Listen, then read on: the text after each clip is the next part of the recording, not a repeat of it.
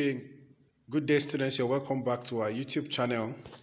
In this particular class, we are going to be determining the relative density of a liquid using Archimedes principle. And in this experiment, we have the following apparatus. Number one, a spring balance you see here mounted on a retort stand as we have here. And then we have a liquid water, another liquid oil, and then a stone or an object, especially of irregular shape. So how do we find or what are we interested in? We are interested in finding the relative density of this particular oil. You can actually use any material other than this as you may wish.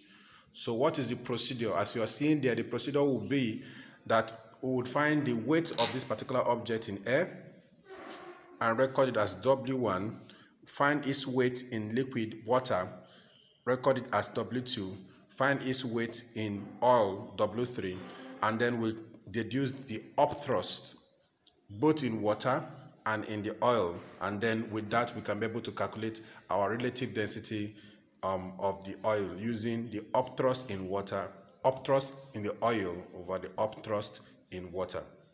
So I'd like that you join me to see the procedure and the practical explanation of this particular experiment. So the first step would be to mount this on the spring balance. So here I have, first of all, I'd like to show you the original reading of the spring balance. So here you can see that the original reading or the initial reading of the spring balance is at point zero. So we have to take note of the zero error before we commence our experiment. So we are going to be finding the weight of this particular object in air. So you have here, according to what we have here, 40 grams. We are going to convert this to Newton. So when we convert that to Newton, we are going to get 0.4 Newton by the time we convert it to Newton. So our weight in air of this particular object is 0.4 Newton. I'm going to proceed to put this particular object in a liquid water and then we are going to find out what will be the weight. We expect that an upthrust will act on it. Of course, remember that an upthrust is an upward force that acts on a body that is wholly or partially immersed in a liquid. So let us immerse it inside water and see the upthrust that will be exerted on it, then we can find the new weight.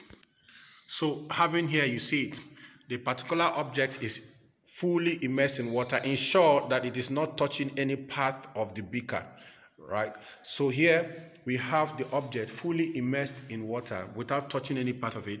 Now let us find out what the reading will be. If you look at the spring balance here you will notice that our reading here is 0 0.2 0 0.2 as you can see here.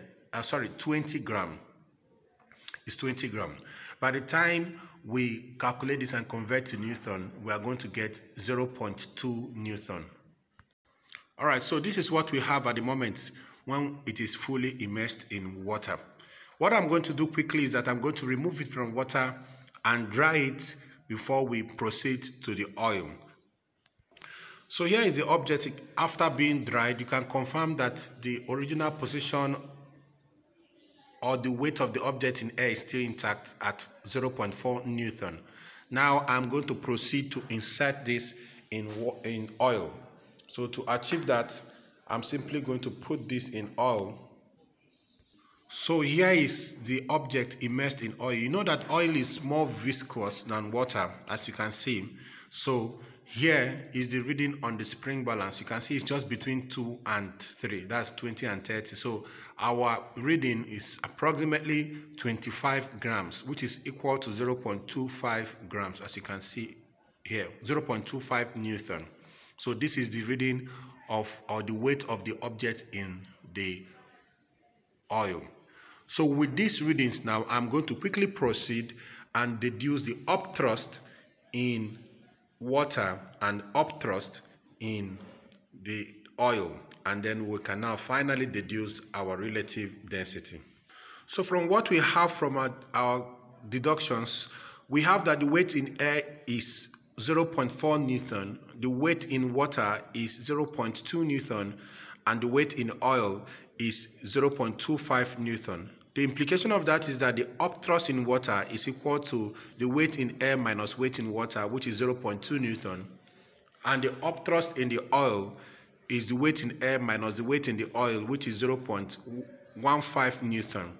So if we now substitute into our formula for relative density, it means that relative density, which is upthrust in oil over upthrust in water, the relative density of the oil will now give us 0.15 divided by 0.2 and then our final answer will give us 0.75. So the relative density of this oil we use is 0.75. You can compare it with the original value of the relative density of an oil. You will see that our answer is actually very correct. So this is how you can be able to deduce the relative density of an of a liquid using the Archimedes principle. So I believe that this experiment has been of help to you. We appreciate you. Remain blessed.